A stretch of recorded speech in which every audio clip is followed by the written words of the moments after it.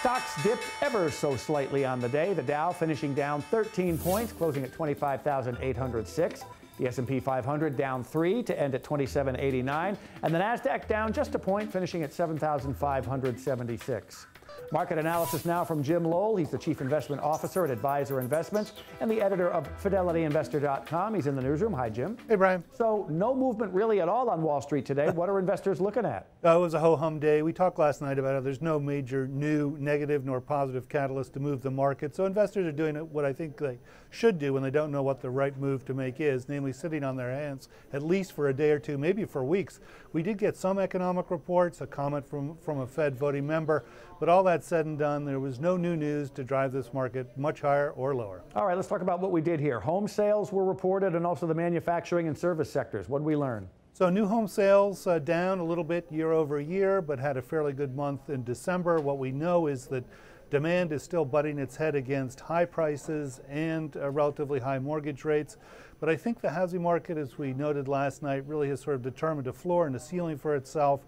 If it is likely to get a second wind, it will have to be driven, I think, by lower prices. In terms of manufacturing, service sector sides of the economy, both faring well. Employers still uh, chief concern, not trade war, but the, their, their inability to find skilled labor. All right, you spoke about, the, you know, they, have been focused, investors have been focused on the Fed for a very long time now. Eric Rosengren, the uh, Boston Fed president, spoke today. Did he, I'm going to say he didn't have any surprises since the markets didn't do anything. The only thing that was surprising in terms of his speech was that he has changed from being one of the most hawkish members of the Fed calling for interest rate hikes to basically abandoning that post and suggesting that patience really will be a virtue.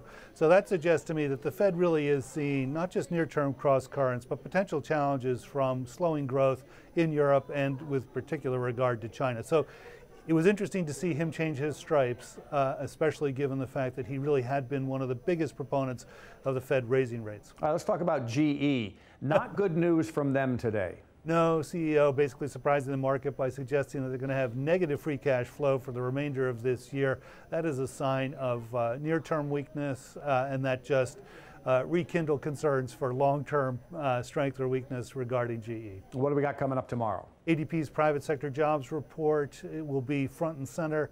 I think that will be what this market will key off of. All right. Jim Lowell, Adviser Investments, Newton, Massachusetts. Thanks as always, Jim. Thanks, Brian.